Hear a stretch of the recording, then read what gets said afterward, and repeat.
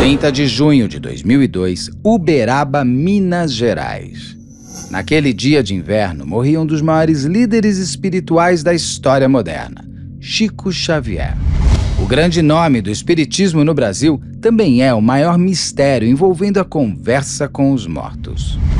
Conheça agora com o Dr. Carlos de Faria um pouco do homem que psicografou milhares de cartas e que ajudou, inclusive, a solucionar crimes, trazendo os relatos das próprias vítimas.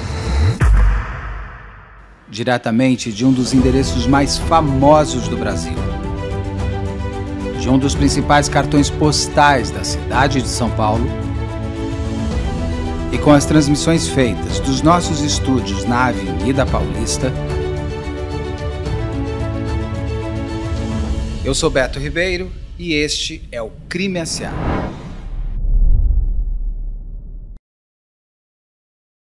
Olá, sejamos todos muito bem-vindos. Por favor, não deixe de se inscrever, curtir, compartilhar, ligar sininho, marque nas suas mídias sociais. Nos marque a todos nas suas mídias sociais. Se puder, seja membro. Cadê? Como é que é membro? Se não, não puder. Posso fazer o gesto. Se não, se não puder, tá tudo certo. Você veio com a gente até o final desse especial de Natal aqui que a gente está fazendo do Chico Xavier. Aí sim. Eu gostei da sua ideia de fazer do Chico Xavier, porque eu digo assim, tem, tem líderes religiosos que conseguem transcender sua própria religião e são sempre pessoas vistas por quem gosta de algum misticismo ou alguma conexão com o que quer que seja, que pode até falar, essa não é a minha religião, mas eu respeito e respeito muito essa pessoa. E o Chico Xavier ele tem isso, não tem? Como é um dos maiores líderes religiosos ah, sim, da humanidade. Ele, eu acho que, que ele, ele carrega isso, isso eu sempre quis falar do Chico, porque, antes de mais nada, o fenômeno, né? que da mediunidade vem muito nesse tema, e ele sim é um grande líder, né? Ele sim foi um grande filântropo. E, e ele, ele foi um cara que realmente revolucionou a, a espiritualidade no Brasil e no mundo. Acho que no Brasil a gente tem duas pessoas de destaque. Uma é ele e a outra é a Irmã Dulce. Né? Total. É, é a Irmã Dulce, Madre Teresa de Calcutá. Você tem pessoas que elas, elas, elas puxam é, a, a simpatia, mesmo se você for ateu. Sim. E eu acho que a Irmã Dulce concorda 100%, que no Brasil são os dois. É, a Irmã Dulce, tem, Um, tem, tem, um trabalho muito incrível. Eu conheci um pedacinho dele, o um pedacinho da obra que eu estive. Você chegou a estar com o Chico Xavier? Quem, Ou, eu? Você chegou a ver? Não, não eu vi ele só pela televisão. Eu, eu nunca estive pra... com o Chico Xavier e nem com a Irmã Dulce. A Irmã é. Dulce, eu conheci o trabalho dela em Salvador e conheci o convento ali de São Cristóvão, da onde ela sai e de Sergipe para fazer a obra dela. É, é muito interessante, é, é, é, muito bonito. Agora, o Chico, o Chico ele teve uma coisa, até pela questão diferente da Irmã Dulce, até pela questão da mediunidade dele, né, Beto? Ele foi posto à prova durante a vida dele toda, né? E, e, de uma forma às vezes até muito difamatória, né? Então ele nasce, ele nasce em Minas Gerais, numa cidade chamada Pedro Leopoldo, em 1910. E ele vive, ele morre em junho de 2002.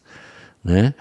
Ele de uma família muito humilde, o pai dele era um cara simples, né? Ele era, a mãe dele era lavadeira, o pai dele camponês, e ele vai estudar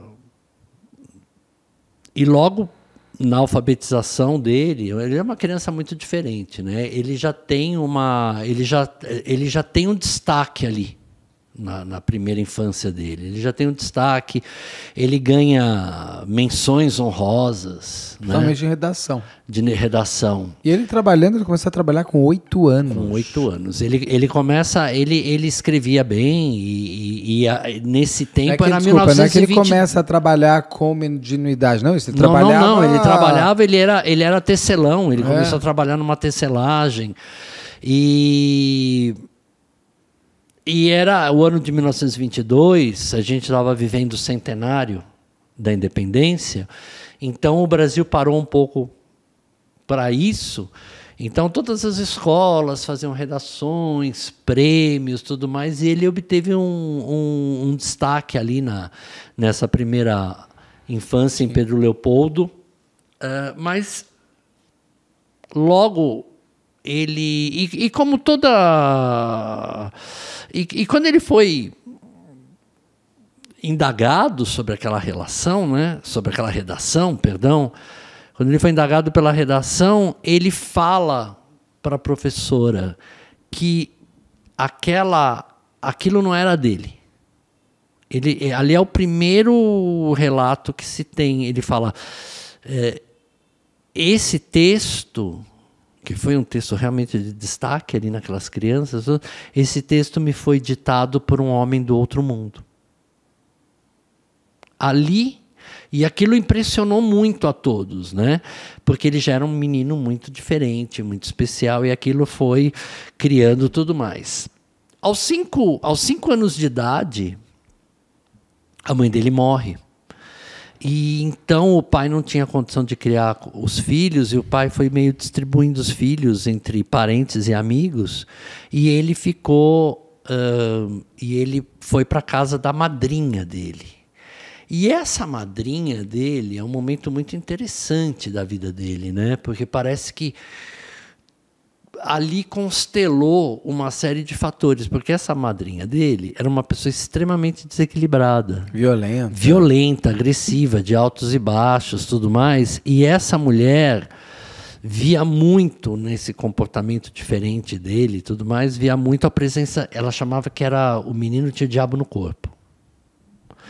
E ela e ela impunha muitos castigos a ele, né? Ela batia muito nele, ela fazia coisas horríveis com ele. Inclusive, ela tinha uma prática de espetar ele na barriga, que depois ele teve problemas posteriores. Ela espetava ele na barriga com garfo. E, e, e obrigava ele a ficar com aquele garfo espetado na barriga. Foi uma coisa muito é, foi, um, foi uma época de muito sofrimento para ele, que ele se apegou muito na religião, na, na oração. E na mãe. E ele dizia, exatamente, nessa lembrança da mãe, ele dizia que a mãe vinha consolá-lo. ela estava com ele para ajudar a fazer essa passagem.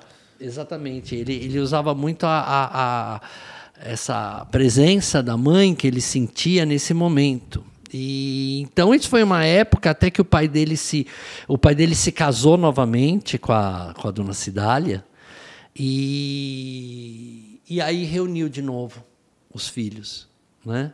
E essa madrasta dele, a Cidália, foi uma mulher extremamente importante na vida dele de forma positiva, porque ela foi uma verdadeira mãe para ele, né?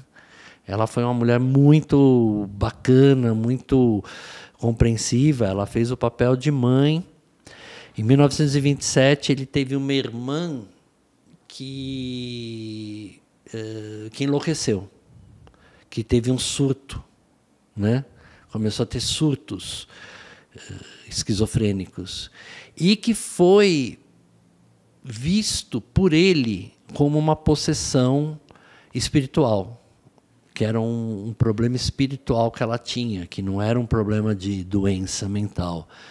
Então ele foi, ele foi, foi também a primeira vez que ele fez esse tipo de intervenção, né, de tipo de identificação que o problema da irmã não era uh, a, e, e teremos que lembrar, né, que em 1927 a doença mental, a esquizofrenia ainda era muito mal diagnosticada, muito mal classificada. Então, entre uma esquizofrenia que o tratamento ia ser alienante e uma a, a esquizofrenia sempre teve esse caráter muito uh, místico, né? Tanto para as pessoas que assistem como para quem vive, porque sempre foi recheada de conceitos messiânicos, ritualísticos, é, filmes divinos. de terror, muitas vezes, é, ah, está em possessão, não, ele está em surto psicótico, em surto esquizofrênico. Exatamente. Não é isso? Tipo, até exorcistas da vida. Até exorcistas da ver... vida. Então, sempre ficou muito ali naquele limiar a, a, que a esquizofrenia é aquele conceito básico da loucura. Né? E a loucura ela sempre foi vista desde a antiguidade como uh, por essa total saída da personalidade, essa tomada de uma outra aspecto da personalidade sempre foi tomado como uma possessão Sim. demoníaca. E não, não, não foi contrário em 1927. Não estou não tô dizendo aqui que o caso da irmã do Chico é, é, é ou não um, uma, um problema espiritual. Eu só estou até, só até diagnosticando como era tratado na época. Em 1927, 1928 a 1931, o Chico ele começa a escrever, né? Ele ele ele escreve, começa a publicar poesias. Ele sempre foi um médium de conversar com os mortos. É. Não um médium de fazer. Curas. Não, não digo nem João de Deus, porque João de Deus não é nada. Não é nada. Eu estou dizendo assim, porque você tem até. Eu, eu eu gosto muito do espiritismo. Não, não é nada não. João de Deus é um vilão. Não, né? digo, é um, não é nada religioso. É um, ele não é de é um Deus. malandro. Ele não é, de não, Deus. Ele é um ele malandro. É do diabo. É, aquele, homem, é, aquele homem é um malandro. Ele, ele é um malandro. Ele, ele, se utiliza da religião, é. da fé, é, da, da empatia maluca dele para conseguir fazer Careta. o que ele fazia. É, é um, um, monstro aquilo monstro. Ali. Agora, no caso do Chico, porque eu já, eu já eu, eu gosto do kardecismo, eu gosto do espiritismo. E, a, e é, tem também, não são cirurgias espirituais, como aquelas que o João de Deus fazia, ou o Dr. Fritz, aqueles outros, ficar cortando. E são que isso é também espirituais. Um, é, assim, é isso coisa... também é um tema que a gente vai ter que falar, tá? Eu queria falar do Arigó, que é um ah, clássico. Tá, eu, fiz o, do, eu fiz de Deus de Pastos do Arigó. Isso, Arigó é muito mas, bom. Mas eu digo o seguinte, ele, ele não fazia aquelas cirurgias espirituais, não de corte, mas Não, de, não, não, não. Era é, sempre exatamente. conversar com os mortos. Era sempre uma coisa da corrente. Fazer passe. De fazer o passe, da corrente, da meditação, da ah. conversa, tudo mais. De ser o elo daqui com lá. Isso, isso. E aí ele e, começa a fazer essas e, poesias. E ele começa a fazer poesias, e poesias muito interessantes. Ele publica em jornal, tudo mais. E quando ele é indagado, ele fala que não é ele que faz a poesia, que ele está recebendo alguns autores, inclusive ele cita alguns, né, como Humberto de Campos e o próprio Castro Alves, que ele citava.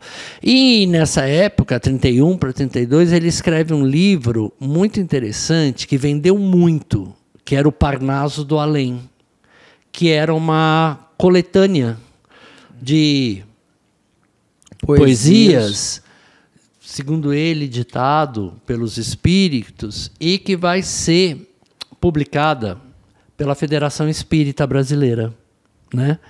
Que é a que é onde ele é bem interessante, que é onde ele entrega, né? ele toda... ainda é jovem, né? 37, ele é jovem, 27 anos. É, ele entrega esse direito autoral para a Federação Espírita, porque mais tarde ele vai ser acusado do, do, da movimentação ao longo financeira. das escritas, a, da movimentação financeira que ele consegue com a venda de tantos livros em tantos milhões de cruzeiros da época e que ele mostra que foi tudo doado para filantropia através da Federação, Federação Espírita. E, e, e, no centro espírita que ele tinha, né, que era lá em, em João Leopoldo, João, João Leopoldo, Pedro Leopoldo, perdão, Pedro Leopoldo, que é o Centro Espírita Luiz Gonzaga, em Minas Gerais. Minas Gerais, né?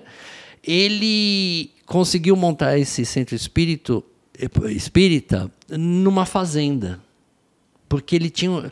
Porque nessa época o espiritismo, já nos anos 20, estava arrebanhando muitos fiéis, né? através da, da teoria do Kardec, dos livros do Allan Kardec. Então, haviam grandes pessoas muito voltadas para a doutrina e para a caridade, para esse ensinamento filantrópico trópico da doutrina kardecista. Então ele encontrou esses, esse fazendeiro que ajudou ele a montar esse centro, o Luiz Gonzaga, e ele conheceu também um cara que ficou muito interessado pelo trabalho dele nessa época, que era o Fred Figner. O Fred Figner era um milionário, ele era o fundador da Casa Edison, gravadora do Rio de Janeiro, que gravou, gravou na, na era do rádio. Ele, a Casa Edson gravava grandes cantores da era do rádio, né? Uh, Não conhecia, estou conhecendo agora. É, é mas tá é a Casa certa. Edson. E ele e o, e o Fred foi um grande incentivador do, do Chico Xavier. Inclusive, ele deixou boa parte da, do, do patrimônio dele para a Federação Espírita. Ele foi um grande apoiador da criação da Federação Espírita Brasileira. Né? Então ele foi, ele foi arrebanhando essas pessoas porque ele passou a atender no, no centro Luiz Gonzaga e ele começou essa atividade da psicografia.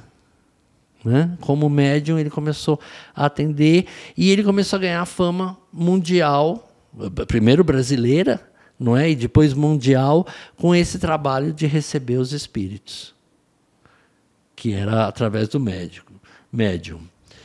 Uh, nos anos 40, já nos anos 40, eh, você percebe pela vida dele que ele passa por uma. Então, ele, na época dos 30 e poucos anos, né, ele passa por uma questão muito interessante do ponto de vista psicológico, que ele chama de. Foi uma época de tentações para ele, que ele chama de. Ele, ele usava um, um, termo interessante, que era o linchamento e abuso espiritual. Hum. Que então ele sofria delírios e visões de, de mulheres nuas, de, de. Porque ele era celibatário? Ele era celibatário. Por ele, opção. Por opção. Porque o kardecismo não é, Não, não, por, por opção. E ele começou a ter essa, aquilo que ele chama de, de uma tentação espiritual, lixamento espiritual, onde esses espíritos que ele atribuía, esses espíritos eh, mais não desenvolvidos, espíritos primitivos, vinham tentar a vocação e a missão dele. E a gente entende dentro do processo dinâmico da psique que, que há aquele período de amadurecimento do, da personalidade, né? Então ele passa por esse por esse aprovação. por essa aprovação mesmo, que é uma coisa também muito falada e atribuído a todos os uh, líderes espirituais, todas as pessoas que tiveram uma espiritualidade exaltada, relatam nas suas histórias Jesus, Maomé, Buda, todos esses Sim. grandes avatares, eles passam por essa por, por, esse, por essa trilha, né? É, por esse caminho. Lá, foi tentado 40 foi tentado, dias no 40 deserto. Dias, quantas, e, e, tudo mais. Então, Falam você... que são os 33 anos, né? Os 30... Isso, é sempre nessa idade aí, 30, entre 30 tudo mais, que é o despertar da personalidade adulta. É quando muita chama. gente muda de emprego, se separa, casa, faz muita. Até hoje, né? Vida de todo mundo, os 30 anos o retorno de Saturno, como Exatamente, chama. o retorno de Saturno. E ele, e ele começa a nomear, ele começa a, ele, ele nomeia nessa época essa, essa pessoa, né, esse espírito que vem ditar as coisas para ele, principalmente os livros. E ele atribui isso ao tal do Emanuel. Ou alguns chamam Emanuel, mas é o Emanuel que é um espírito de luz. Que é o guia dele. Que é o guia dele aquela pessoa que está sempre com ele, que está sempre orientando, que está sempre caminhando ao lado dele e que tudo que ali era feito por ele era psicografado. E fica também muito claro essa questão, eh, diferenciando de, de outras abordagens aí, espiritualizadas, que o, psico, que o psicografar dele não era um receber, o Espírito. Ele não recebia o Espírito, ele recebia a mensagem. E ele tinha três modos de receber, que eu ouvi, é muito interessante. Um que ele fala o seguinte, que ele sentia uma mão pesada sobre a mão dele. Então, que é quando sai muito a caligrafia exata da pessoa. Isso. O outro é pelo ouvido, que falava. Isso. Pelo ouvido. E o terceiro. Ah, ele via a pessoa falando e ia anotando. anotando. É, eram três, eram três eram formas, as três formas de dele ter essa mediunidade, né? A clarividência. É de como a pessoa se identificava com ele na hora. Porque, pô, tem gente que a letra é igual. A clarividência, né? o fenômeno da clarividência, o fenômeno da psicografia e o fenômeno auditivo da escuta. Né? Inclusive, eram, eram coisas. Uh, basicamente, a ideia, a ideia básica do, do, da mediunidade é essa: né? que o médium é o meio, ele é só o veículo, né? ele não é nada além disso, e que uh, os espíritos, essa é a fundamentação de Kardec, que os espíritos precisam se manifestar. Os espíritos querem falar. E o médium seria essa esse, esse rádio, essa comunicação né, do além com a quem. Então tem essa, essa passagem. Mas é, na década de 40, que a gente está falando aqui, né? Ele que ele começa esse trabalho da psicografia, que vai pegando fama internacional, uh, ele começa a ser questionado, né? E um dos uh, e os repórteres também da época né, começam a questionar ele. Então, por volta de 1944, 1945, haviam alguns repórteres muito famosos. Um deles era o Davi Nasser e o Jean Manzon. O Davi Nasser era um repórter que já tinha sido responsável. Eu acho que ele era da revista Cruzeiro, se não me engano, tá? Ele já tinha sido responsável por ter achincalhado a Carmen Miranda. Ele era um destruidor de mitos. E ele foi um cara que ajudou, infelizmente, o Davi Nasser, ele ajudou aos brasileiros olharem a Carmen Miranda com muito maus olhos. Porque qualquer coisa que ela fazia lá fora, que era de um estrondoso sucesso, e só quem conheceu, isso está no relato né, do próprio Rui Castro, na biografia dela. Só quem conheceu a Carmen lá fora sabe como ela foi maravilhosa e fenomenal para a imagem do Brasil, para o nome do Brasil, que sendo que ela era portuguesa. Sim, e ela era de um talento excepcional e ela era muito amada pelos atores de Hollywood, ela era muito querida. Ela foi a primeira mulher em Hollywood a ganhar um milhão de dólares no filme. Exatamente. E você sabe que ela era Na uma história. Ela era uma cinema. das únicas. Ela era uma das únicas atrizes de uma personalidade tamanha. Ela era uma das únicas atrizes que a maior estrela de todos, que era Greta Garbo na época, parava e chamava ela de Miss Miranda.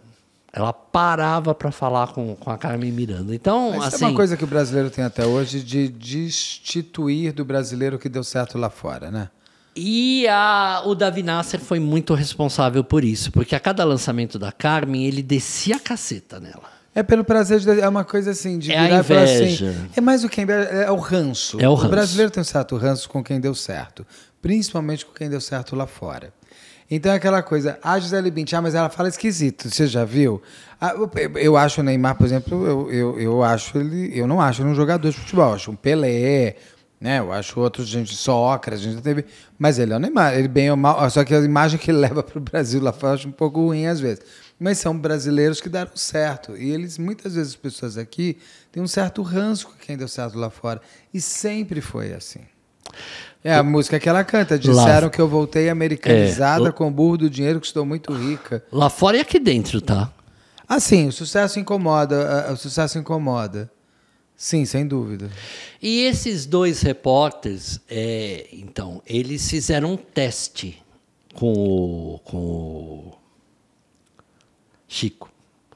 Eles foram, o Chico já nessa época já estava com o centro. eu ouvi a entrevista, é, é assim, é horrível, né? Eles, ele, já estava no centro de Uberaba, então eles chegam. Ah, é. Não, não, é, não é a entrevista que eu vi, eu já sei o que é, você vai me contar. É, o, no centro de Uberaba, eles vão lá, eles são repórteres, eles vão fazer um teste com ele, e eles vão lá uh, com nomes falsos.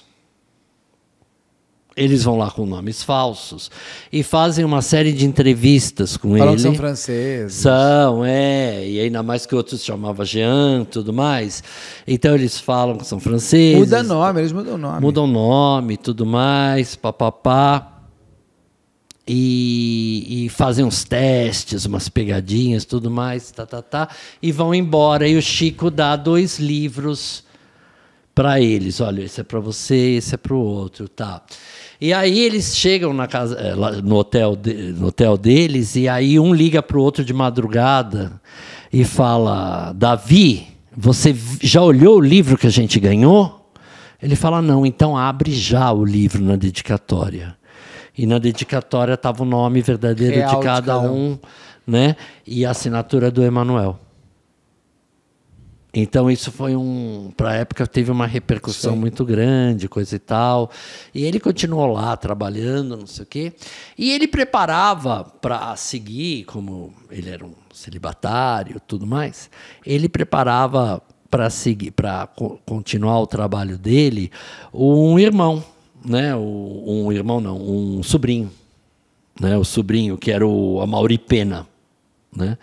Que era filho daquela irmã que tinha enlouquecido em 1927 e que havia sido curada. Que ela já era considerada curada e ela fazia um trabalho junto no centro. E esse era o filho dela, o Amaury Pena. E o Amaury Pena estava sendo preparado mesmo para continuar o trabalho do tio. Só que ele, ele pirou um determinado momento, né? ele viajou na maionese e ele começou e, e ele começou a se dizer também uh, médium psicógrafo, né? O sobrinho dele. O sobrinho dele. E ele vai a público ao Davi Nasser ali. E ele vai a público uh, dizer que tudo aquilo que o tio fazia era falso que tudo aquilo era preparado, que tudo aquilo era lido e que ele mesmo Uh, era um farsante, que ele mesmo, uh, tudo aquilo era montado e que não existia nada daquilo, tudo mais, e ele, e ele joga uma lama violenta em cima do Chico, né? da obra do Chico. E sempre o que. E, e, mas ele era um rapaz que tinha problemas seríssimos de álcool, né? Ele era um rapaz que tinha problemas seríssimos de álcool, tanto é que depois ele é internado uh, por alcoolismo e, e, fica, fica anos, se não me engano, a vida toda ele ficou num hospital psiquiátrico por conta disso. Ele também tinha, talvez até genético, essa coisa delirante uh, que veio da mãe, se é que a era mãe filho daquela era irmã, filho daquela, daquela irmã, irmã esquizofrênica. Isso. É, que havia sido curada, né, que trabalhava com o Chico. Havia e, sido curada não por remédios, não, mas pelo porque foi foi lido um trabalho como, espiritual. É. Uh, então, isso, isso foi no final dos anos 50, e isso foi muito chato, né? Para aquelas pessoas, mas o que sempre fortaleceu muito a questão do Chico Xavier e o que deu muita ênfase ao trabalho dele foi o caráter filantrópico da obra. E os resultados que ele e tinha, os resultados, de fato, é, com pessoas anônimas. A pessoas anônimas e pessoas famosas e não famosas. As famosas são mais fáceis de fazer uma matéria, Sim. mas as anônimas são aquelas que te dão sustentação. E que, e que, ele, e, e que a, a rede dele era absurda, né? Absurda, porque ele chegou até 1980, Alberto, a ter duas mil instituições mantidas ou apoiadas em cima do que era arrecadado com o nome Dos dele. livros. Porque sabe que ele é um dos maiores vendedores de livros até hoje. Ele já vendeu, se eu não me engano, eu tinha achado um número próximo, que até 2010. Deixa eu ver se eu vi alguma coisa. Ele aqui. tinha vendido 50 milhões de livros até 2010. Nós estamos em 2023. As pessoas podem ter comprado mais 50 milhões. Então ele é um, ele seria, ele é um best-seller em qualquer lugar do mundo e no Brasil um dos maiores. Se você parar a pensar, se ele ganhou um real por livro vendido, ele ganhou 50 milhões de reais. Isso. E ele 100% do que ele ganhou com os livros, 100% foi revertido em obras de caridade. Ele, ele eu talvez pagasse o aluguel da casa que ele morava. Mas alguma coisa também a pessoa precisa ter alguma coisa para viver. Ah, e é, mas o dinheiro era todo para a obra. Então todo você, obra. ele não era é, como outros que vieram depois, que não estou questionando a qualidade mediúnica de ninguém, mas que fizeram livros para ganhar dinheiro. Fizeram livros para ganhar Entendeu? dinheiro, fizeram cursos, fizeram escolas, uh, entraram muitas vezes para a política, Sim. tentaram ser deputados, teve aquela mulher. Xavier não teve nada disso. Você teve aquela mulher lá, Lembra? Sim, mas o Chico Xavier ele não ele, não, ele não ficou teve, ele não, inteiro ele, ele, não se metia nisso. Fazendo o tempo inteiro dele. era psicografia, a mediunidade, era o trabalho assistencial com os pobres, foi o tempo inteiro durante todos os o, o, todos os anos 60 ele teve, a contribu ele teve a participação do Valdo Vieira, que é um nome muito querido dentro da Federação Espírita.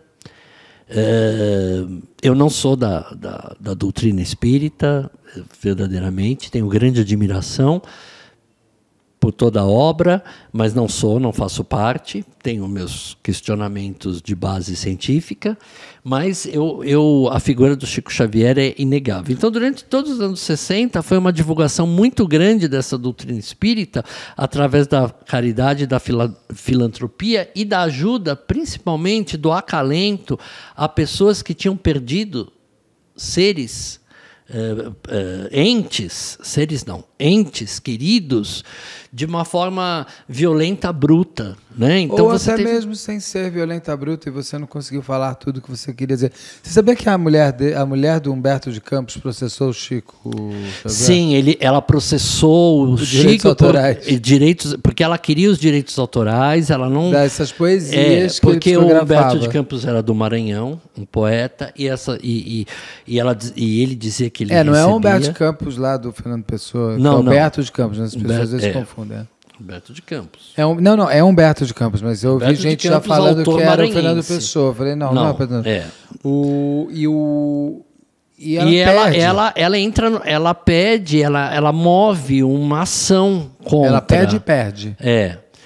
E, mas ele muda também. Ele começa a assinar como irmão X. Senhor X. Senhor X, é. ou irmão X. Eu li Senhor X. acho que é irmão X. Eu ouvi ele falando numa entrevista Senhor X. Senhor X? Senhor X, é. é que é o que segundo ele era Humberto de Campos, que agora ele não podia mais falar o nome dele por conta da viúva. É, ele entrou no acordo seguinte, ele, ele não perde, ele não tem que dar os direitos autorais até quando a federação mostra, não tem lucro, porque tudo foi dado, eles mostram, eles abrem os livros de contabilidade.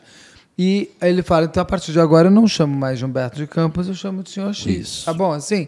Mas ele, ele, ele psicografou, segundo ele, muitos e muitos autores. Né? E até numa entrevista que eu vi dele, um jornalista muito, não sei se cético ou fazendo papel de cético, fala, pergunta para ele, mas por que, que o senhor não pode ter estudado esses autores e ter tentado escrever como eles? Ele responde, ele responde meu querido, é, eu, se eu te mostrar, eu trabalhei desde os oito anos até, até no Ministério da Cultura. Começa oito anos, aí ele vai para uma tecelagem, depois vai para um bar, e tudo com carteirinha registrada e depois no, na, no, Ministério da Agricultura. Isso. Eu não, eu não tinha nem tempo de ler, são mais de 400 autores. E para você escrever como aqueles autores, eu precisaria ler toda a obra. Você não vai ler toda a obra de Assis de Queiroz, Machado de Assis, do, do, sei lá, de quem mais, o que tiver. Ele falou, não, eu, eu realmente não tive tempo, eu não consegui ler. E como é que você consegue falar tão bem? Ele falou, porque o Emanuel, o meu guia, foi, além do meu mentor espiritual, o meu mentor como um professor de português. Ele me ensinou, inclusive, a falar melhor. Inclusive, deixa eu falar da é isso? Não sei se ia falar Exatamente, isso, mas é... isso mesmo, isso é. mesmo. Eu ia falar para você e ia, acrescentar com isso.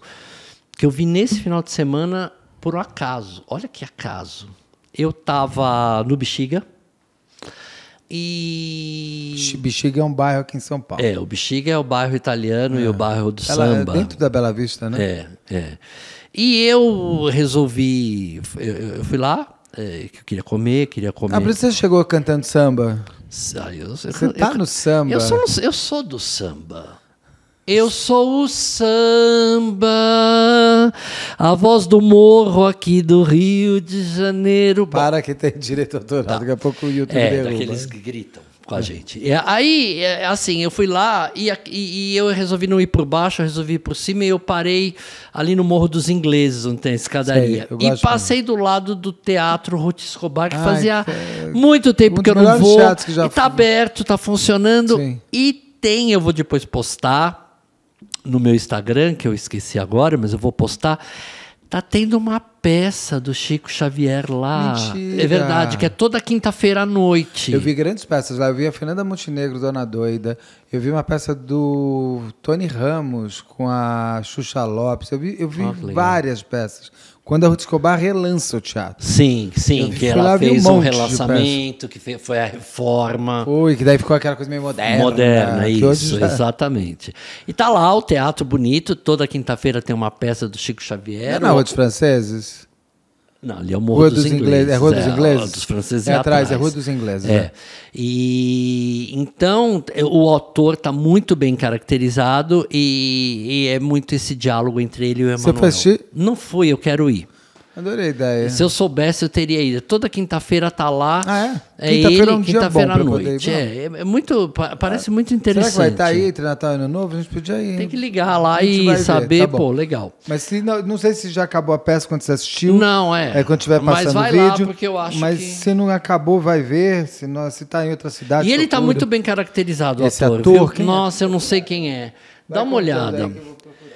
Bom, gente, é, essa, essa marca registrada do Chico, que foi a caridade, né? a, a, a exata a pregação da caridade, o modo dele falar, o modo dele. O, o, incrível. Nos anos 70, em 1971. Carlos, é, desculpa, é no, é no Bibi Ferreira ou é no. No Ruth Escobar. No Ruth Escobar? É, é que apareceu outro. Vê aí, programação do Ruth Escobar. Nos anos 70, né, para quem está chegando agora e não se lembra dessa época, a gente tinha a TV Tupi, uma TV paulista, paulistana, de muito sucesso, né? Foi uma das primeiras TVs. Sim. A primeira, é a primeira, é a primeira TV. TV né? É a primeira TV da América Latina, a primeira do Brasil e eu acho que é a terceira do mundo. Aqui em São Paulo, eles tinham um programa chamado Pinga Fogo. Estão batendo aí, ó. Ah, não, estão batendo, deixa eu bater. É espírito? Não, tem uma pessoa ali parada. É, mas é, deve ser. Não, deve. Aí, ó.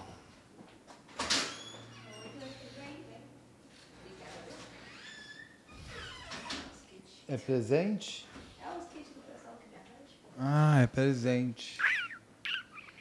Tá vendo, gente? Aqui é meio ao vivo. Tá aqui, é bem aqui. Ao, aqui é bem ao vivo. Não é meio ao vivo, é bem ao vivo. Bom, nos anos 70, a TV Tupi tinha um programa, em 1971, que se chamava Pinga Fogo.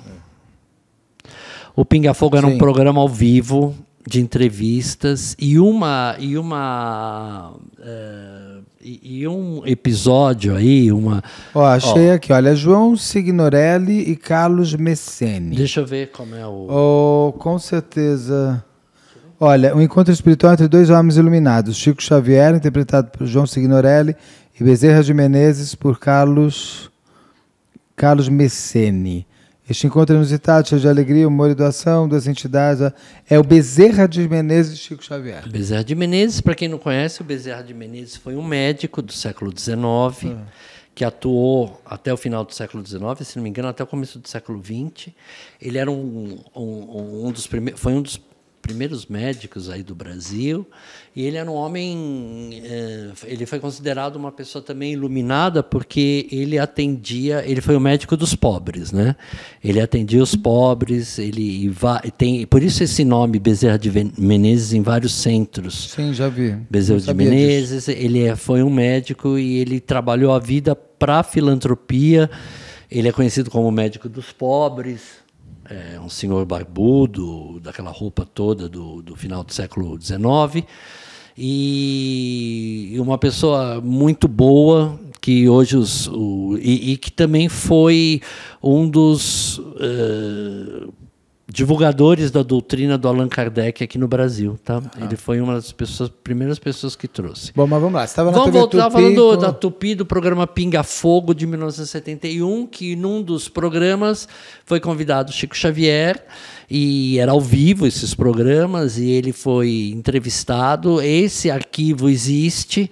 É né? esse que será que eu falei que eu vi essa Esse aí, ó, o Pinga Fogo, olha lá. Será que foi nesse que eu vi a entrevista? Sim, li, talvez, tenha sido, uh, talvez tenha sido. é. porque ele foi ao vivo. Foi um programa de grande repercussão e, e esse programa divulgou para quem ainda não conhecia, né, o Chico Xavier, o nome dele Francisco Cândido Xavier, o Chico Xavier para o Brasil inteiro. E Uberaba o centro espírita lá se transformou, no início dos anos 70, num, numa peregrinação. Cara, eu lembro assim, em 1980, minha mãe minhas tias, tudo querendo ir. Vai é. 90, chega 90 e vem 90 e não vai. Vem 2000 e não foi, porque daí ele morre. Isso. E, e o Pinga Fogo fez tanto sucesso, e ele, e ele falando, porque o pai dele era bilheteiro, né? O pai dele vendia bilhete. Ele era muito pobre, era da roça, depois foi vender bilhete. E, e os, e, o, e, os repórteres eram muito provocativos, né? E perguntavam: Ah, Chico, então seu pai vendia bilhete, por que, que vocês nunca ficaram ricos, coisa e tal. E ele tinha sempre uma história Desculpa, muito. vendia bilhete de quê? De loteria. Ah, tá. O bilhete da loteria, aqueles caras que vendem sei, bilhete, sei, lembra? Sei. Tinha muito isso antigamente. E. Ah, perguntaram para ele: se teu pai vendia bilhete, por que, que teu pai não pegou bilhete? Rico? Se você é médium, por que você, você nunca. Por que, que você nunca cantou o bilhete premiado pro teu pai, entendeu? Então tinha muito esse tipo de. É, é, é, Tinha muito esse tipo de provocação. Ele não vai ser o, o adivinho pela própria riqueza, é uma outra. É outra, é uma outra, é uma conexão. outra conexão. É uma outra conexão. Ele não era um adivinho. É como perguntar para um padre, por que você não faz milagre? É, exatamente. Pega, é então, é outra conexão, é outra história, é outra pegada. Para que, que você precisa de dinheiro? Faz a multiplicação do dinheiro, sabe aquela coisa? É ele, ele, ele, ele, eh, nesse programa fez tanto sucesso que fizeram outros Fizeram Bom, mais dois explodiu. do Pinga Fogo com ele.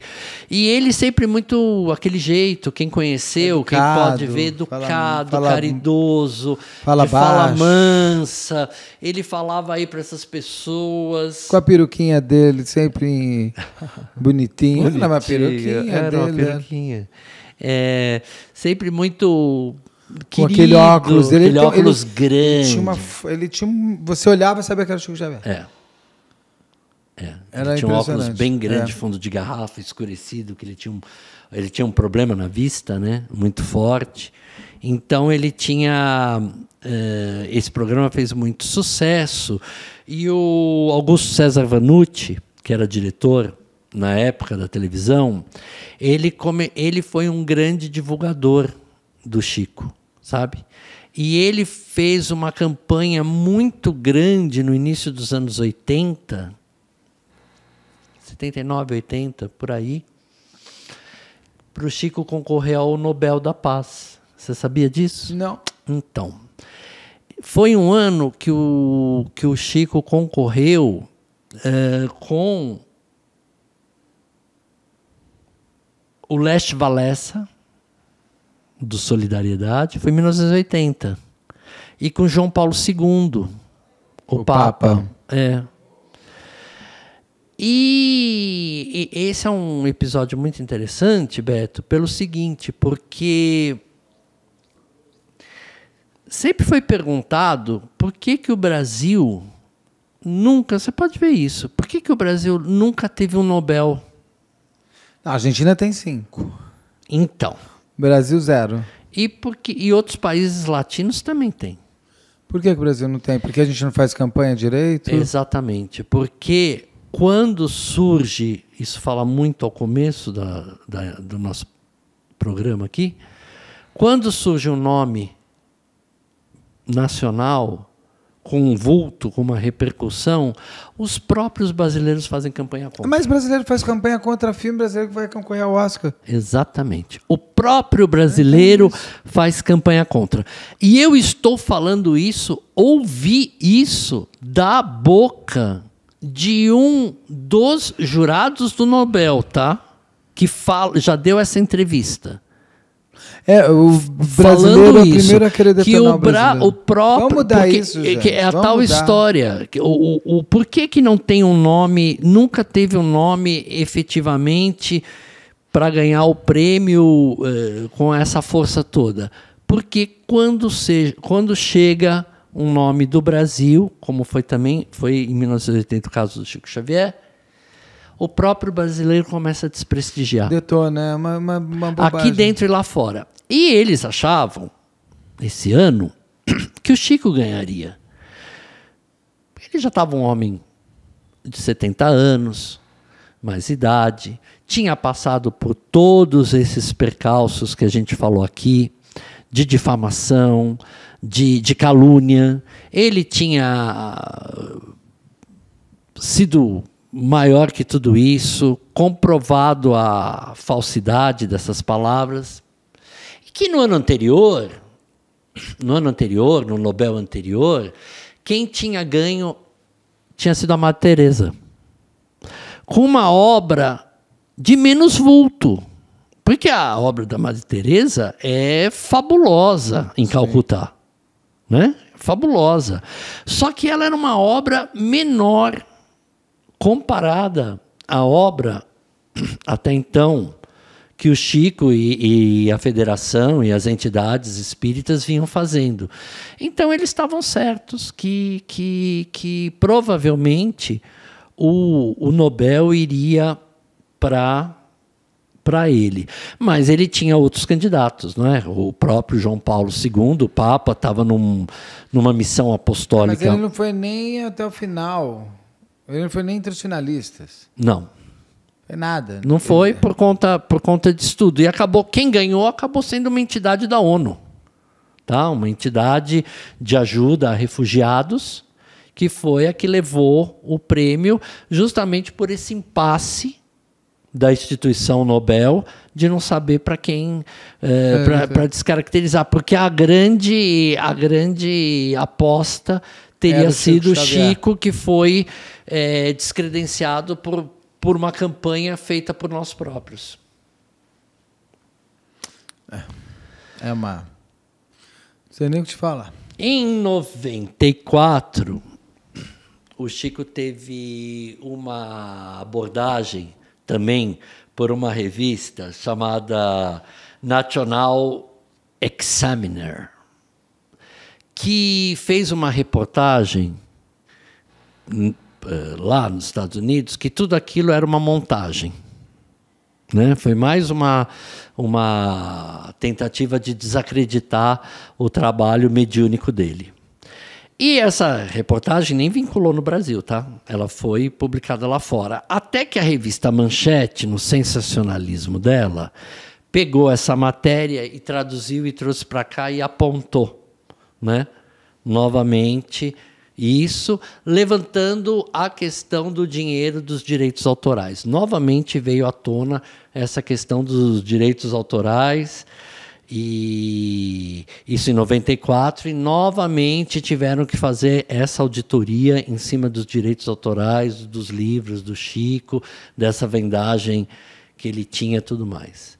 Então, mais uma vez, e, e ficou muito mal para a revista Manchete isso, sabe? Porque ficou meio que um, mais uma vez um sensacionalismo, um uma, uma tentativa de, de, de, destruir, de, a, imagem destruir a imagem dele. Só uma coisa, já tinha tido Nosso Lar, o, o livro, já. já tinha virado novela na Tupi. Sim. A Viagem. A Viagem. É, é a nossa viagem, uma coisa. E depois, a Viagem. É, a Viagem é na Globo. Não, a Viagem na viagem Tupi. Também? É, a da Globo, a, Globo a, viagem, a viagem também. Que é da Ivani Ribeiro. É, que é, que é uma, um remake, É um né? remake. E depois agora teve o filme Nosso Lar, que é um, um dos maiores sucessos que tem de bilheteria no Brasil, em função da, da temática do filme, que é muito bem feito também que é a ideia de que é aquela ideia de do nosso lar, né, que é o plano espiritual, e aquela coisa que o pessoal lê muito em centro espírita que é casa transitória.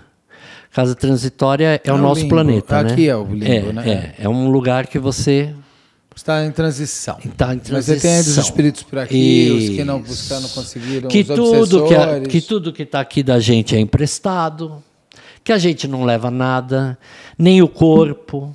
Nem o corpo. Nem o corpo você leva, porque o corpo também para onde você vai não quer. Que leve fica aí a carcaça fedida. E fica todo mundo vestido de branco. Isso eu acho um pouco estranho.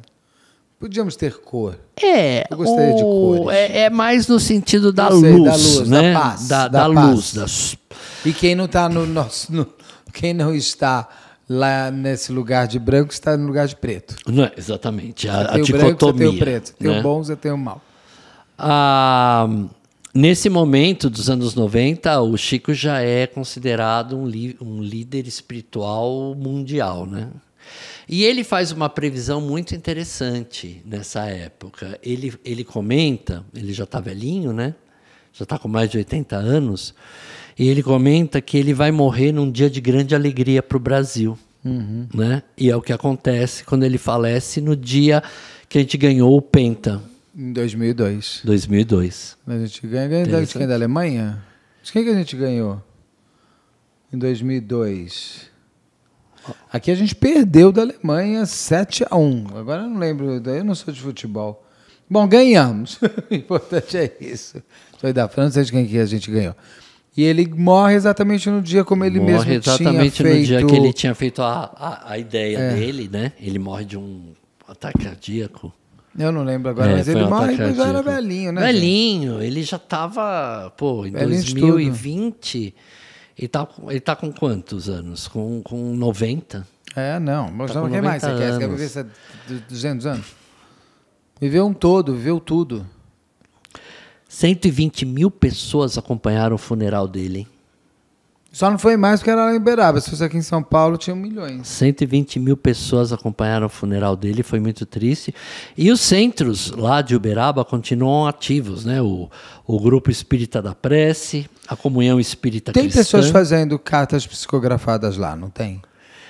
Acho que sim. Eu acho que tem discípulos. Tem, tem te, teve, teve uma formação mediúnica, né? É, porque também o... ele não podia morrer o legado dele não, nele mesmo. E, o, e isso faz parte até da, da, da doutrina do Kardec, não é? Que, da doutrina do Kardec e que você observa nos centros espíritas, que é um trabalho de acolhida e desenvolvimento dessa mediunidade que segundo Sim. Kardec, segundo a doutrina, muitas pessoas têm, esse lado intuitivo, esse lado sensitivo, e que uma vez essas pessoas buscando os centros kardecistas, elas vão ter um trabalho lá dentro de uma formação, de um desenvolvimento, para se descobrir até que ponto esse grau de uh, sensitivo é mais ou menos uh, apto a esse tipo de ação que é a mediunidade, a psicografia. Sim. Você já recebeu é? alguma carta psicografada? Não, eu nunca recebi. Eu tenho, eu tenho uma visão um pouco particular a respeito da psicografia. É, eu não. Mas eu, eu, vou, eu, vou, eu vou contar uma experiência minha, por isso que eu perguntei, porque eu já sabia a resposta. Tem os novos. Minha tia Pina, irmã do meu pai, Sim. quando eu, o, o o menino aí, o Chico Xavier, já morrido, ele morreu em 2002. Meu pai morre em 2004. E minha tia Pinas vai em 2005, o 2006. Menino, aí, Chico menino, é menino, menino. O, o, minha tia Pina estava lá, foi lá. Não foi nem pelo meu pai, foi também, mas foi. E quando falam, falam quem é a irmã do Roberto, minha tia Pina vai E ela, essa pessoa psicografou uma carta, ele, não, minha tia não abriu, não podia ela tinha que trazer para a gente, para minha mãe. Pra, pra, era uma carta para minha mãe, para mim para os meus dois irmãos. E para minha sobrinha, que, tinha, que ia nascer. Tinha acabado de nascer e meu pai não viu. Meu pai ah, é? na, minha, minha, meu pai morre dia 21 de dezembro de 2004, minha sobrinha nasce dia 31 de janeiro de 2005. Meu pai chegou a ver a minha cunhada com a, com a barriga, mas, não, mas meu pai já estava bem, bem ruim, não estava. Tava, ele estava só em carne, ele estava só em corpo. Eu já estava indo. E é muito doido a carta. A, a, as coisas escritas ali, a minha tia Pina não saberia falar. Porque eram coisas tão de dentro. Da, do núcleo de vocês. Da casa. E coisas que eu já nem lembrava. Que só quem viveu lá dentro daquilo. E a forma de escrever era a forma de escrever do meu pai. Era uma coisa impressionante. Eu, é assim, é, é, a cadência, o texto, os verbos que ele usava, a forma, coisas que ele trazia. Eu fiquei muito impactado. E eu fui ler de maneira meio. Eu, sou, eu adoro tudo que é místico, mas na hora que vem para mim, eu firo um cético. Porque Sim. eu preciso, para você me convencer, Sim. eu não posso estar imbuído de emoção. Eu, você vai ter que me convencer na matemática. Sim. E a minha mãe chegou, minha mãe estava bem emocionada. Meu irmão, tá? Eu peguei, fui ler, falei, deixa eu ler isso aqui. Eu li. Falei, não, peraí, quem, mas quem estava com a tia? Quem, quem sabe dizer aqui? Tia Pina sabe disso? Quem que estava com ela? Sabe, você começa a falar, quem que está acontecendo? O que está acontecendo? Mas como é que é? E nada, nada, não. Aí, aí você lê de novo, você fala, é meu pai falando comigo. Essa parte aqui era pra, é para mim. Essa é o meu pai. É muito doido. Você, quem já recebeu uma carta psicografada, é, você transcende algumas coisas, porque você é uma, é uma coisa. É um grande mistério. Porque não existe um mistério maior na vida do que a morte. Sim, eu acho que a ideia é. bem é essa mesmo que você falou, é a transcendência.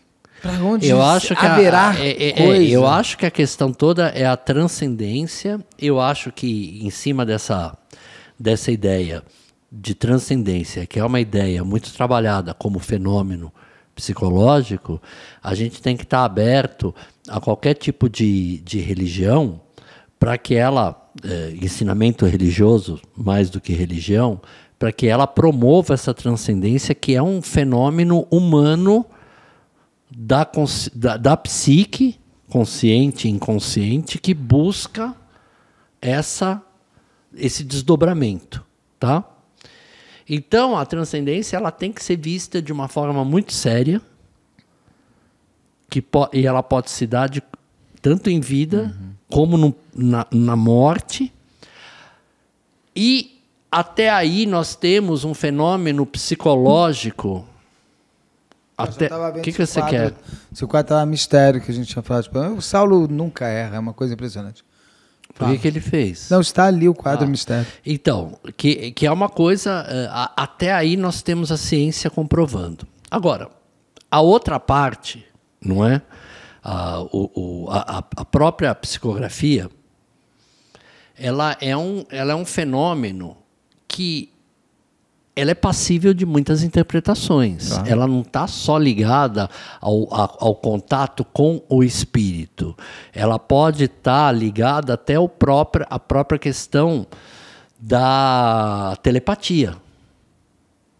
Né? E não, é, não somos só nós, homens, humanos, que temos a capacidade, essa capacidade. Alguns animais também têm. E isso já foi uh, desdobrado, estudado em, em, por várias uh, questões, vários experimentos científicos. Você tem autores, como por exemplo o Dr. Rupert Sheldrake, que trabalha com campo mórfico, que ele fala exatamente isso. Ele trabalha com essa percepção telepática de cachorros, de, de gatos, essa percepção que eles têm do campo mórfico que fica ali. Eu convido a todos que estejam aí assistindo para buscarem os experimentos da BBC, que são em cima da teoria do campo mórfico do Rupert Sheldrake, que é o, os cães sabem quando seus donos estão voltando para casa. Claro que é uma coisa aleatória, é um, é um método científico que ele chegou à conclusão do trabalho da telepatia e que a mediunidade trabalha muito com isso. Muitas vezes ela percebe alguns contextos daquela pessoa da psicografia que estão na sua mente que estão no seu, na sua memória e o telepata consegue captar isso. Então eu gosto de pensar e isso não tira, não tira nenhum mérito, tá? Isso só explica um pouco mais a atividade mediúnica como uma atividade de, um, de uma receptação de rádio. Agora, da onde vem essa onda? Se ela vem do espaço, se ela vem do além, ou se ela vem de você, isso é uma questão Como a, a ser ainda saber. desenvolvida. Mas que o médium funciona como um, cap, um captador Esse dessa. Radar desse radar, né? É um rádio mesmo. Você vê o rádio. É uma antena. Ele está lá, é uma antena. Né? Ele é uma antena. Agora, da onde vem o fenômeno? Não, não, interessa. Outra coisa, outra coisa, se você pegar o rádio no, no na, se você entender, se a gente conseguisse entender o celular, o rádio uh, no século XVIII, iam achar, chamar de bruxaria né? Ou quando não se entendia que havia ondas eletromagnéticas. Então, por aí a gente pode partir para essa, essa compreensão. Agora, eh, tratar esse fenômeno como científico é complicado. Porque o fenômeno científico ele precisa de método científico. Sim. E ele precisa ser replicado. E é um fenômeno que você não consegue replicar eu concordo com o que você fala, mas tem coisas do entre a vida e a morte que você Sim. não tem como ter tratamento científico. Sim. Né? Uma coisa a gente fala é que é o mistério Chico Xavier, mas também o canal tem um nome maior que é crime.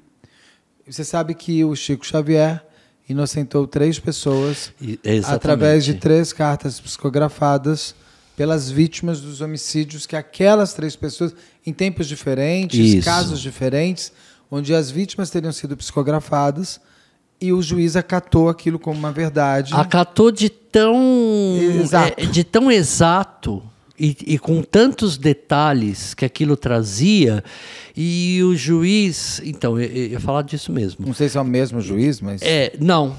Não foi o mesmo juiz. Foi pego momentos diferentes de, de tamanha riqueza de detalhe é, que só uma pessoa que estivesse ali poderia dar que é, alinhavava com as provas levantadas. Três casos foram inocentados através de cartas psicografadas com tamanho de detalhe. Exatamente. Entendeu? E isso é uma questão muito interessante, tá? Para um tribunal de júri. Isso é uma questão e muito complicado de você aceitar. Porque, mas porque foram três cartas psicografadas pelo Chico Xavier. Será que hoje qualquer médium psicografando teria a mesma força? Pois é, eu acho que. Porque o Chico Xavier era o Chico O Chico Xavier, Xavier então está dentro desse contexto aqui que a gente está falando da personalidade, dessa liderança espiritual, dessa luminosidade que ele tinha perante quem conhecia ele, quem, quem vivia. Né? esse contexto da, da, da, como você falou, da carta psicografada. Então, é, é, é, muito complicado falar disso. Né? Você sabe que o próprio Allan Kardec, no capítulo 14 do, do Livro dos Espíritos, ele define muito o que ele chama de sensitividade, de, é, de sensibilidade, de intuição, para os indivíduos médiums. Né? Então, quem, quem tem esse interesse, o, o Kardec, que era também uma pessoa que recebia essas mensagens todas e que não tinha esse nome, né? Allan Kardec, você sabe que é um nome que é forjado. Ele não é. Se... é, ele tinha um outro nome e ele passa a escrever como Allan Kardec até por uma forma é na França, né? Na França, de, de fugir da perseguição porque ele era um médico, né? Allan Kardec era um médico. Ele tinha um outro nome e ele passa a ser chamado de Allan Kardec. Tem um filme muito legal também dele, viu? Do Allan Kardec. Tem, tem, tem vários, tem documentários do Allan Kardec bons também. Gente, em, em 2019, só para encerrar aqui, em 2019, perdão, em 2014, o Ministério Público Federal em acordo com Eurípides e Gino, porque Eurípides e Gino foi um menino que ele pegou para adotar. Que virou filho dele. Que virou filho. Ele adotou esse menino. Era um filho adotivo. Eles estabeleceram uma, uma, um termo de proteção e catalogação de todo o acervo do Chico Xavier, de todo o arquivo do Chico é Xavier hoje é protegido e catalogado pelo Ministério Público com autorização do, do Higino. Do, que é o filho herdeiro. Que é o filho herdeiro dele. Muito bom, Carlos, um prazer. Gostei de falar do Chico Xavier. Gostou, Saulo? Do Chico Xavier? Gostou, Ronald? Gostaram? Agatha, gostaram? A Agatha não tá nem aí. A Agatha tá. A Agatha tá, tá só de cabeça baixa. Ela tá lá no, no TikTok. Ela não tá ouvindo. Ela tá ouvindo? Ela tá ouvindo. É, tá é porque gravado às vezes não dá. Pessoal, é isso. Muito obrigado por este ano de 2023 que está foi e será incrível. Foi bom o ano para você?